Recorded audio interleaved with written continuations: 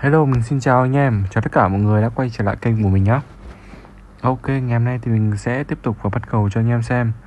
Hiện tại thì là mình vẫn chưa chơi một tay nào hết anh em ơi. Trong cái video ngày hôm nay thì ờ, mình đánh là cũng là những cái tay đầu tiên của con game này khi mà mình chơi trong ngày hôm nay đấy. Nói chung là mình cũng lười quá, bây giờ mình rảnh rảnh vào quay video cho anh em.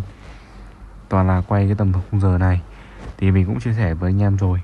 Khi mà anh em đánh theo cái khung giờ ấy khung giờ cố định của mình nói chung là tầm 12 giờ sáng này. Từ 12 giờ trưa ấy. Đấy thứ hai là tầm à, 6 giờ tối 7 giờ tối gì đấy. Thứ ba là nó sẽ là tầm 12 giờ tối nữa. Nó có ba khung này mình hay chơi mình xử lý được cái cầu thì nó rất là ok cảm giác ăn nhiều. Thì mình mới chia sẻ lại cho anh em. Nhưng mà tay đầu tiên là vào lại đéo ăn được anh em ạ hơi đen anh em ạ nói chung là thôi không sao. Nó cũng chỉ là tay đầu tiên thôi mà mình đi có 5, 5 triệu thôi vốn mình 50 triệu cho nên mình mất có 5 triệu này thì nó không ảnh hưởng gì quá đối với mình. À, đấy thôi vào tài à vào xỉu bên 10 năm anh em ạ. 186712 ok chưa? Chả biết là có thắng được không nhưng mà cầu này thì hy vọng là thắng anh em ạ. Không thắng là mình mất đi đâu đó tầm à, 10 16 ấy ờ nhỉ nhiều phết đấy. Nói chung là ôi rồi 4 năm thì chịu rồi khả năng cao là gỡ bên này thôi. Gỡ thì nó sẽ là một tay này. Nếu mà gỡ thì sẽ đánh 24 triệu luôn anh em ạ. Bởi vì uh, khi mà anh em chơi mà anh em gỡ tay thứ ba anh em môn in ấy à không phải gấp thép lên đấy thì chắc chắn là anh em sẽ phải gấp thép liên tục ấy. Mà mình bây giờ có 50 triệu mình đánh tay này nó còn còn tầm 10 triệu nếu mà thua thì thôi. Vào tôi ăn anh em ạ. Hay luôn. Rồi tưởng thua ra xỉu 10 anh em ạ thắng đúng một tay thì 56 triệu luôn. Thấy chưa? Đơn giản này thôi, nói chung là cũng, ấy nhở cũng hên phết anh em ạ. Trong phiên này thì mình thấy một cái dây của nó ra bốn nước, cả tài cả xỉu luôn. Và đăng tay là mình không đánh theo 4 đâu, mình đánh 5 đi. Đương nhiên là đánh 4 thì vẫn có tỷ lệ ăn thôi, tức là bây giờ mình sẽ đánh tài, thì vẫn có tỷ lệ ăn thôi. Là 10 50 anh em để mình uh, chọn cái phương án đánh xỉu ra ra năm nước thì tí nữa mà bệt được thì cầu ấy ngon hơn. Đấy dạo này thì um, ngủ chưa? Không ngủ nên là đang quay video thì anh em có thể nghe thấy tiếng ngáp của mình. Buồn ngủ quá anh em ơi.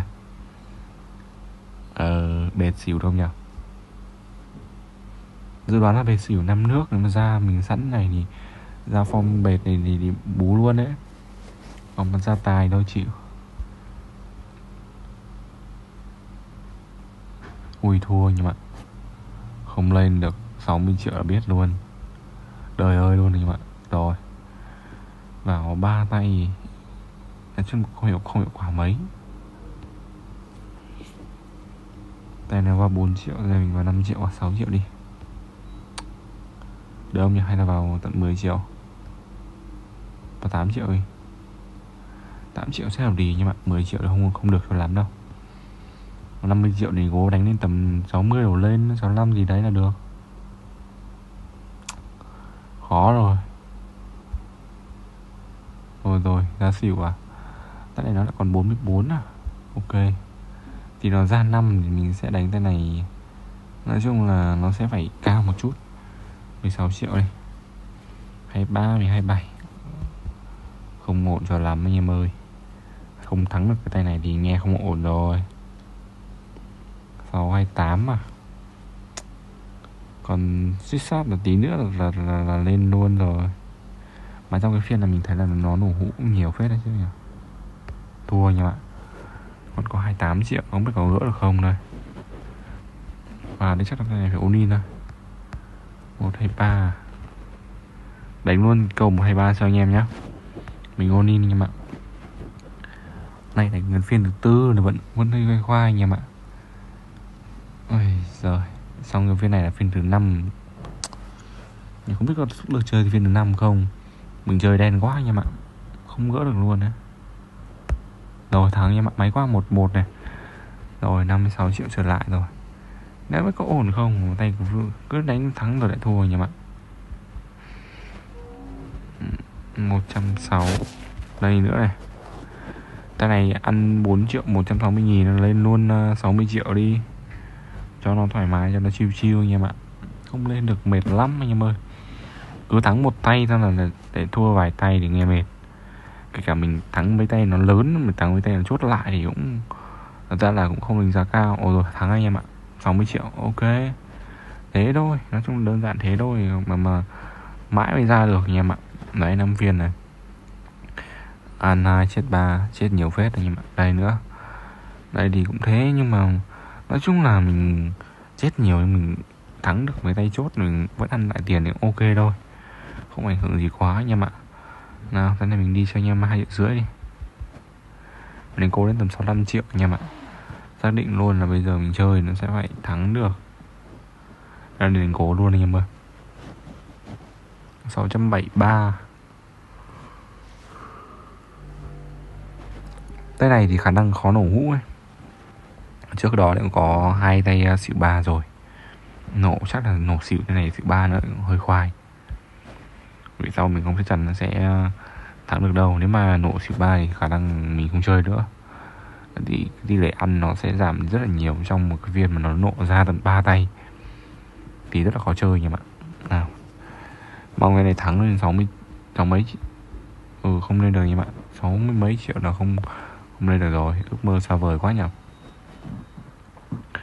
cũng hơi mệt nha.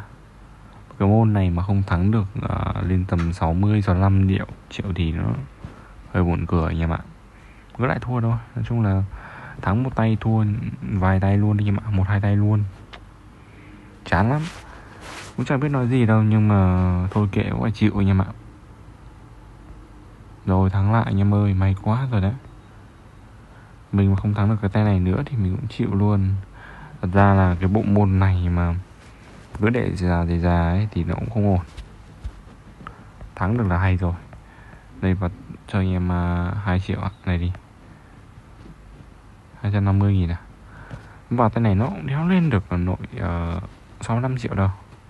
Mà Tôi kệ cứ đánh nốt cho anh em đi. Mình nữa không không uh, cần phải thắng được đâu. Nào. Để 60 triệu cũng được, Mà lên 64 triệu cũng được. Ồ, lên 64 gì nhỉ ạ Ngon này. Thôi được rồi anh em ơi, Chắc là mình dừng lại nhá. Không chơi nữa, Nói chung là cái xu hướng mình này, mình bắt mình thấy mình chơi như này ổn rồi. Chơi khá nhiều chứ. Mà nói chung là không hiệu quả cho lắm. À nó có hiệu quả nhưng mà nó không không thắng nhiều cho lắm anh em ạ.